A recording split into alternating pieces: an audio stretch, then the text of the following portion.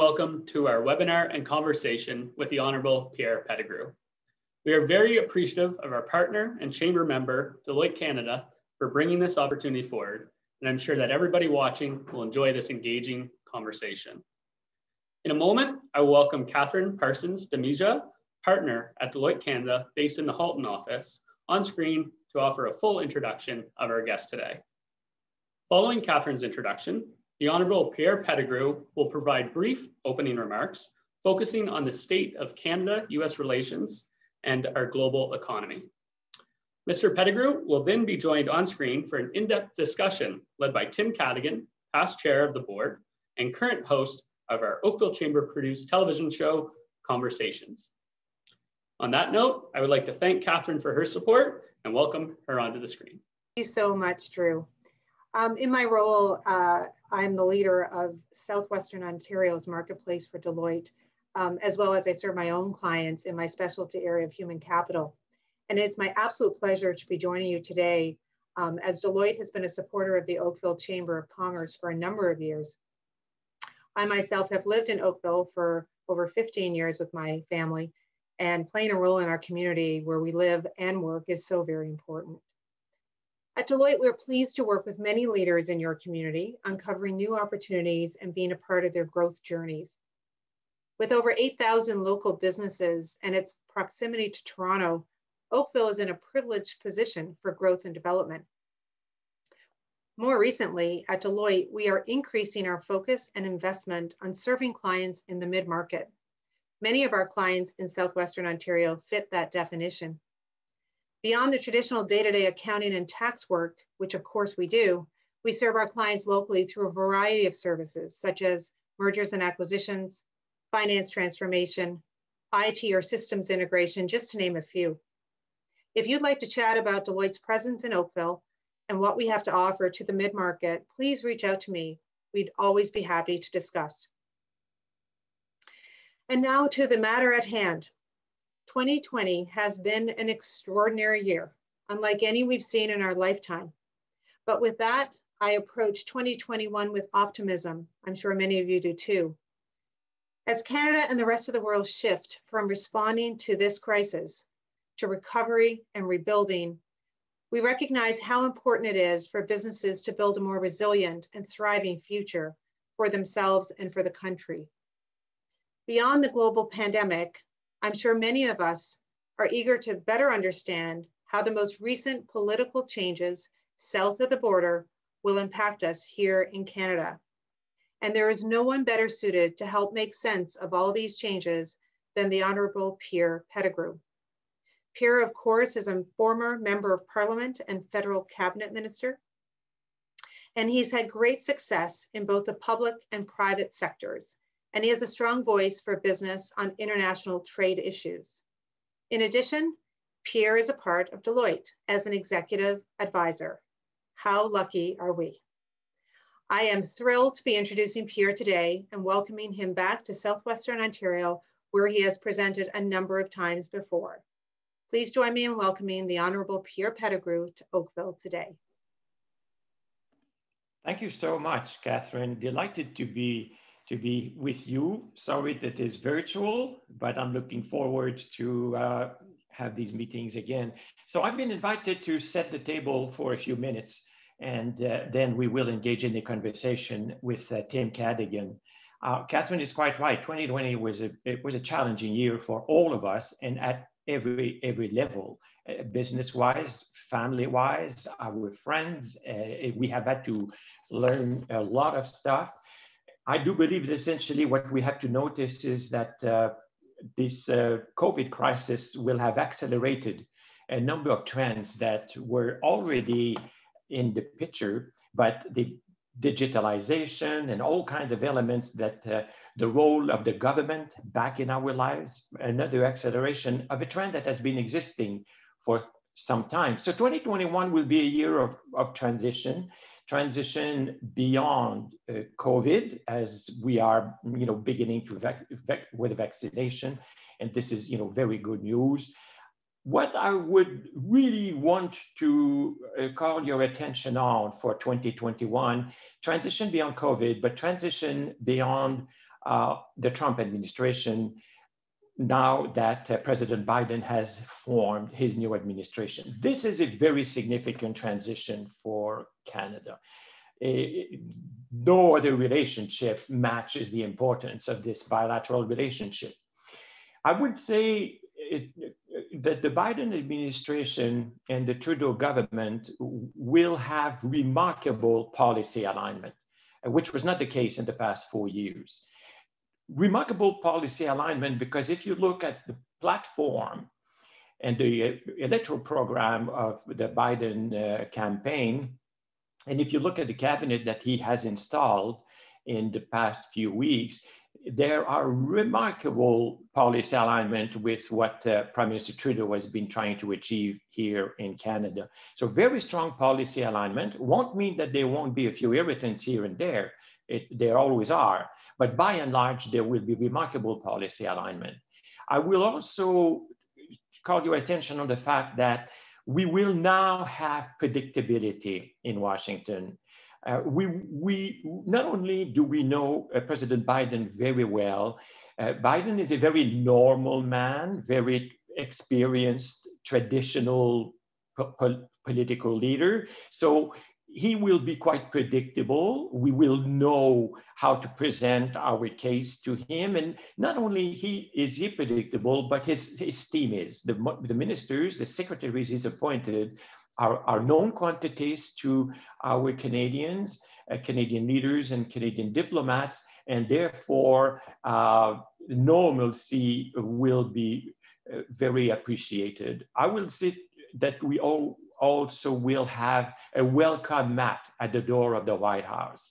Uh, Kamala Harris lived in Canada. Uh, Kamala Harris lived in Montreal for five years and, and keeps very fond memories of, of her stay here in Canada. We will have a welcome mat at the door of the White House. A few words on China, because the way uh, President Trump was dealing with China very confrontational. We were sort of sleepwalking towards a Cold War with China, which would have very badly affected Canada, of course, as a Pacific country. We need to engage with all of Asia. Uh, and of course, with the rise of China, we have to take that into account.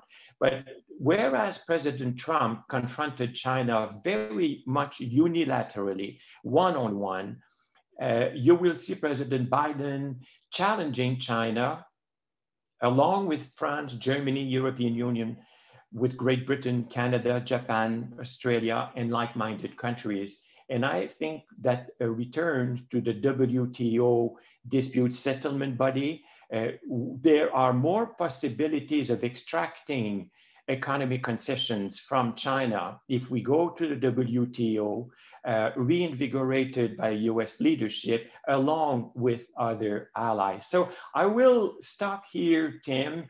Uh, I just thought we should set the table, but of course I'm quite available to go wherever you believe this conversation should be going for our members. Well, first of all, thank you very much for doing this, Mr. Pettigrew. It's a, it's a pleasure to see you, and uh, yes, virtually, unfortunately. But let's jump right in on the U.S.-Canada relationship. You talked about uh, the policy alignment. Can you be a little more specific about where we might see some of that alignment between the government's priorities and what the Biden administration coming into uh, their term uh, will be? Listen, the, the, if you if you look at, the uh, environment, climate change. Uh, President Biden has already indicated in executive order that he would re-engage with the Paris uh, Climate Accord.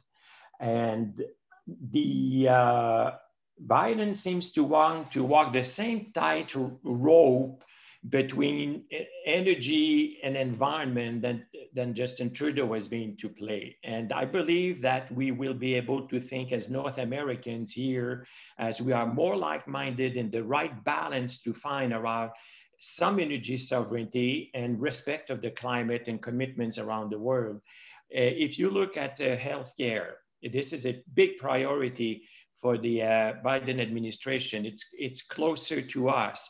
Uh, I, I think that uh, the uh, the vast the, the deep way of dealing with COVID very different from what the Trump administration was doing on the COVID. I think you will see a more engaged government on that front. I think on international trade, uh, as you know, Canada and our government in Ottawa has always promoted multilateralism, which is the rule of law for mid-sized countries like us. Uh, can't afford to be bullies, and we're Canadians. Our DNA doesn't shape us to be bullies. So having the rule of law, uh, reinvigorating the WTO, I think on international trade, Canada is heading a group of countries that want some reform of the WTO. Not sure we'll extract a lot on Biden on that front, but he will certainly reinvigorate the dispute settlement body. So these are all alignments on which we will be able to work very closely as we are quite like-minded. And so it's interesting to me to think about the relationship between uh, our government and the government of the US. And so looking back over the last four years, for instance, uh, if the president put a, a, a tariff on goods it didn't feel like we had an ability to have a, engage in a conversation. That if anything, we had to react to that. Uh, I think the government uh, did exactly what you said. They walked a, a bit of a tightrope in dealing with him. Uh, that's changed now, and our ability to negotiate. So, so what does that mean for Canada as we go forward? That those relationships now are in place, and that the person sitting at the you know in the Oval Office is is perhaps more open to that conversation. Very much so. Very much so. President Biden thinks like that. He thinks in terms of allies. He knows that the United States' strength in the world, uh, when it wants to challenge China, it is far more powerful when the United States is not only the United States alone or you know America first, but when it is actually uh, aligning itself and leading, you know, NATO and all of the alliances that uh, that country is in favor. For us, uh, Biden has an immense respect for Justin Trudeau personally. Uh, Trudeau was very, uh, very lucky in a way because when he became prime minister, he gave a, a state dinner to President, Vice President Biden, who was leaving the White House, and they hit it off very well from there. So you know, when you go to someone who is open to you, and to someone who's predictable because he's a very normal man. I mean, you, you, you, with the president, with the former president Trump, you never knew, you know, if it was a good day or a bad day or what what, what would be there. So we will be able to put our case in a very kind of professional way and can expect a professional answer uh, rather than instinct and emotions and prejudices. You know, one of the things I've been trying to get my head around over the last uh, couple of weeks is this. Uh, normally, when an administration leaves the White House, that chapter closes, and comments made on the world stage don't seem to have the same uh, importance as they would have if that person was perhaps running for a second term. Uh, in this case, and just what you said, you know, his uh, President Trump's uh, thin skin, his his you know unpredictable nature based on comments made internationally does it change our ability to talk to the Biden administration based on the fact that Trump is still talking about his potential to come back in four years and running? We, we, we have to do everything we can to help President Biden succeed because you are right. Uh, Trump, Trump continues to be a very strong political force. I mean, normally a former president simply vanishes building his library and doing some saying nice things and never criticizing his uh, successors and not intervening in any kind of way. So uh, this is a very different situation. We have a man who is uh, down in mar-a-lago but quite determined to be a major force. And the republican party uh, seems to we'll see what the Republican Party does in the end, but it really does look that uh, uh, Trump will be a big, big, big force for years to come. So essentially, uh, for us, it's very important that Biden succeeds if we want to continue to have that kind of normalcy. Uh, otherwise, and presidents normally don't do well at the midterm elections.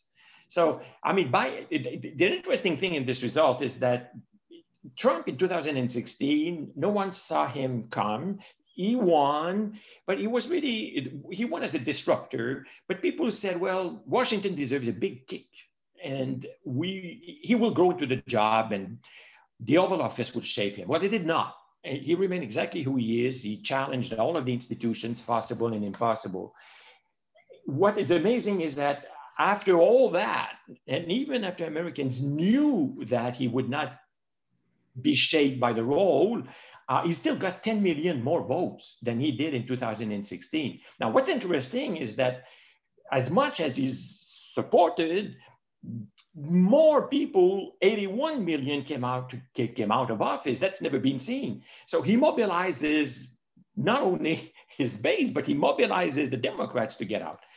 And indeed, we have to take that into our calculations because we don't know the future as a country you always have. I think that Trudeau, Freeland, those who dealt with the Trump administration did an extraordinary job of self-discipline. Uh, they should continue to do that, while, however, um, making sure that we work very constructively with the Biden administration and do everything we can that it succeeds. Okay, that's enough on Trump. Let's try not to talk about him again for the next little while. Uh, I want to circle back though to your comment at the start uh, when you you mentioned Biden's uh, environmental policy, and one of the first uh, actions he took uh, after being inaugurated uh, was his executive order to kill the Keystone Project. Alberta's Jason Kenney, of course, has come out very strongly opposed to that action. He's calling for uh, to be paid by the states for, for damages. Uh, he actually said that he wanted to go to war over Keystone. Um, what is the impact for the Keystone project for Canada? Never mind uh, just Alberta, but for, for, the, for the Canadian economy and specifically for our relationship with the Biden administration again? It's a big, it's very frustrating. I mean, you know, I do believe honestly that Keystone contributed again with 70 other pipelines that we already have uh, between Canada and the United States. Uh, North American energy sovereignty is wonderful because it makes you independent of whatever happens in the Middle East and this and that. So I, I certainly agree that it was a very frustrating decision announced the first day. However, Obama had vetoed it before. Biden was his vice president. Biden has the smallest majority in the House. And as you know, the 2016 caucus of Democrats is pretty left wing. He needs to give them something. So at one stage, if private companies want to sue the United States and this and that, I would certainly, I mean, it's their right and they should look into compensations I don't think Canada should engage in sanctions. I think it would be a terrible mistake. I, I, Biden knows all of the positive arguments about Keystone, and he's, he's, in a way, it's a great service that he announced at the very first day. So it's there. Uh, we object. I believe that we should focus on the opportunities that the policy alignment offers us. I think Prime Minister Trudeau wants to keep that welcome mat at the White House to negotiate the rules of the Buy American procurement program. Huge government procurement Buy American. Trudeau wants to keep his access to the president to make it as much North American, Buy North American rather than narrowly American. And I think that is where we should insist the opportunities uh, rather than spending too much saliva on something on which we know he will not change his mind. It's tough to imagine a purely buy American policy working, given how uh, you know, in linked we are with their economy. How many products travel across the border? Raw materials go to one country to be uh, fashioned into something to sent back to the original country to be Im- implemented or installed into something. It's very difficult to imagine uh, a buy American policy working given how integrated we are. I totally agree with you. And this is where I believe the government of Canada should be focusing at this time We've had great practice with the NAFTA 2 negotiations where uh, the, the, Prime Minister built a strong team Canada uh, that he led, coordinated by Chrystia Freeland. Premiers of the provinces came in, uh, worked with the governors and uh, the chambers of commerce and business associations So we Americans need to be explained exactly what you described is that that integration um, is very, very positive and constructive for the US and for Canada. And they would benefit of much better government procurement if they um, had this Canadian contribution. So in 2010, even if the relationships between Harper and Obama was not fantastic, uh, we could still at that time negotiate exemptions in 37 states. So my view is that it, th this is why I was saying around the Keystone, let's try to keep the mood as positive and constructive as possible, because on the Made in, Made in America rules, on the Buy American Act, this is really where we want to score points. I want to uh, shift now to talking more about the Asia market. And, and in your opening remarks, you talked about the fact that we were sleepwalking to a potential Cold War with China.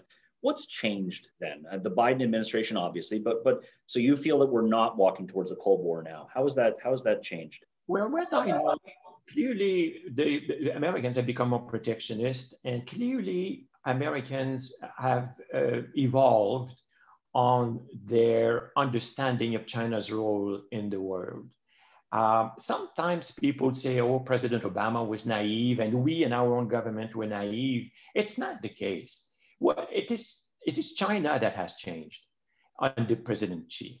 In our years, when we negotiated China's integration in the international order, that was a major, major improvement of international affairs when they joined the United Nations and stopped supporting terrorism around the world. Um, and now are the second largest contributor to blue helmets and peacekeeping forces.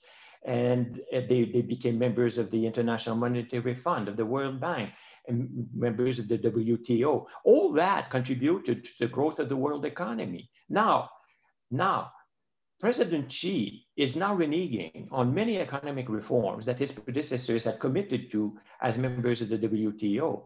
Uh, we need to bring back uh, a, the uh, commitments that the Chinese had made. And I think Biden's approach is far more constructive because it will be at the WTO uh, where the rule of law applies. The Chinese need access to the world economy because the only legitimacy of the Communist Party of China is economic growth.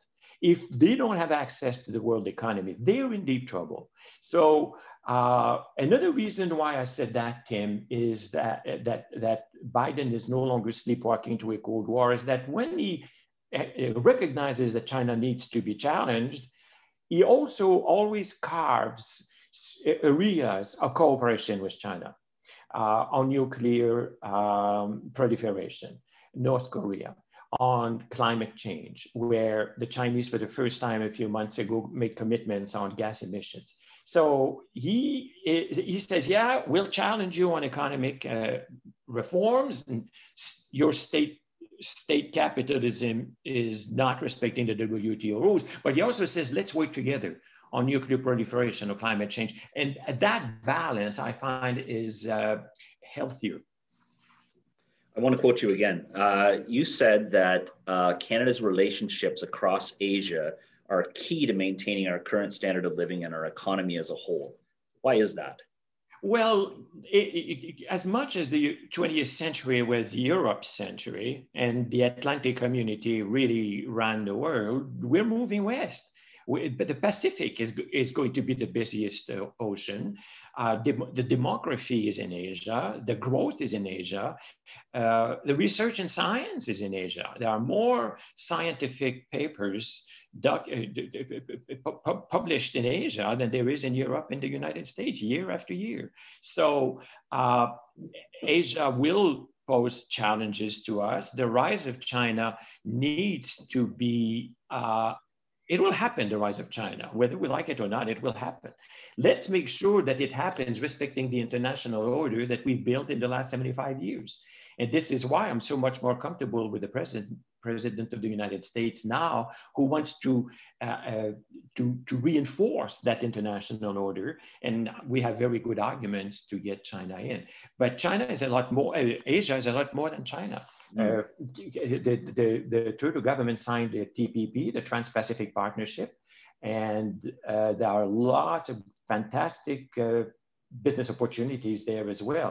No, the 21st century will be Asian, and we Canadians are so lucky to also be a Pacific country that we should uh, certainly have that tail to Asia. So I want to separate uh, the bulk of Asia and bring China out for this part of the conversation. And specifically, I want to talk about uh, what I would say is a gap in our worldview. Uh, you know, it feels like for several years that we've been bullied by China. You know, they're holding, and today, the day we're recording this is actually the 800th day that they've held two Canadians hostage. Uh, obviously, there's differences in the, the uh, deficit of the trading that we do with China. Uh, I think our whole worldview as Canadians is different, yet we continue to use them as, or to consider them to be a strong trading partner. There was an article in Maclean's that talks about the policy around Ottawa, has always been the policy around Ottawa, that it's best to keep our heads down and behave the way Beijing wants in hopes of winning favorable trade concessions. Can we get out of that posture? We, we have to respect our values. We have to affirm and, and assert our values all the time. And clearly, the evolution of the last few years in China, since President Xi took over, is, is, has to be a major concern for us. The only way we can progress if we engage. And when I see this rhetoric of saying, you know, we should not engage with them and we should not do anything anymore, uh, I don't agree with that. I mean, should we review even in trade? I mean, you know, global supply chains at the beginning of the COVID uh, were far more resilient than I would have thought. Do we want more sovereignty in pharmaceutical?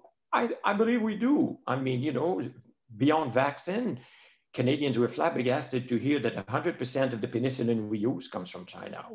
Hello. I mean, however, uh, PPEs and ventilator, of course, everyone everyone wanted them at the same time in March. Even if we had had local production, wouldn't that ch- change the reality? There was a bottleneck there. So I believe that when we realize how much the world economy has been damaged by COVID, if we if, if, if the United States wants to recover and its economy launched again and, and, and Canada, we need consumption to be there and the, and the contribution of the Chinese to the ability of citizens to consume is very significant. I mean, you know, Walmart, uh, if your washing machine costs $100 more, fewer will buy them. And if your television costs $500 more because it's local production, we have to find the right balance. And we do trade that, that what I have a problem with right now is when we focus only on China uh, we've been do, do, doing a lot of trade with a lot of regimes that I really, really don't appreciate. Uh, it's heartening for me to hear you talk about the, the collection of like-minded countries and, and the ability perhaps to bring some of these regimes uh, back to the table and to a more respectful uh, engagement on the world stage. I only have a couple minutes left. Uh, I know you were heavily involved in our negotiations uh, with Europe, and I, I, wanted to, to get your take on Brexit right now. Obviously, it's still in its, in its infancy with uh, the European Union and, and Britain separating, but, but what implications does that have for, for Canadian businesses? Very significant. You know, when one thing that I am preoccupied with is that now that Britain has left the um, European Union and the single market, uh, Brussels risks becoming more protectionist. The French and the, and the Germans are not as pro-free trade as, as the Brits were and kept Brussels in that direction. So I'm, uh, yeah, I was, I was the Prime Minister's special envoy on the Canada-European Union trade agreement. So I've spent a lot of time with them. And what is wonderful with this CETA arrangement and so good for our Canadian businesses and exporters is that even if protectionism rises in the European Union, we have a bilateral protection. We have a bilateral trade rules already negotiated. As a matter of fact, Tim, if you look at it, Canada is very well positioned because we are the only G7 country that has a free trade access to every other G7 economy. We, we have this with the United States through NAFTA or CUSMA, as we call it. We have it with the European Union economies, Germany and France. We have it with British by extension, and we have it with Japan through the Canada, uh, through the uh, Trans-Pacific Partnership. So even if protectionism is on the rise, and I hope it won't be too much on the rise, we, we already have uh, free trade access to all of these economies with established rules. So, with the career you've had, I'd be remiss if I didn't take the opportunity to ask you about Canada's standing in the world. I think we see ourselves as polite and nice. What does the world see us as? Canada's credibility is pretty good. Uh, almost everywhere we go, there are a few countries where our our brand is not so highly regarded or respected. I mean, you know, but by and large, by and large, the Canadian brand is very well liked. Uh, you know, we're seen as North Americans, but very polite, as you say, and that's, that is much appreciated. People appreciate a great deal the international contributions we've made over the years. Uh, one of my colleagues, uh, uh, I'll name him Pascal Lamy, who was the uh, European Trade Minister when I was Canada's Trade Minister and then became uh, Director General of the WTO. He told me one, one thing I really like uh, with you Canadians is when I am to meet a Canadian whom I don't know, I don't even know who will come in uh, the room. Is it a, a, white man? Or is it an a, a, Asian descent? Someone with you know background? You say diversity really works for you Canadians, and you are represented at all levels at a very high level. Now, Canada's standing and the re-engagement of the last few years uh, put, puts us at a very good. You know, our brand is good and the quality of our products, the quality of the service we follow up with. I, I, I'm pretty impressed with what I see almost everywhere around the world. Well, we have to leave it there. I want to thank you very much for your time. My pleasure, Tim. Thank you. It was great meeting you.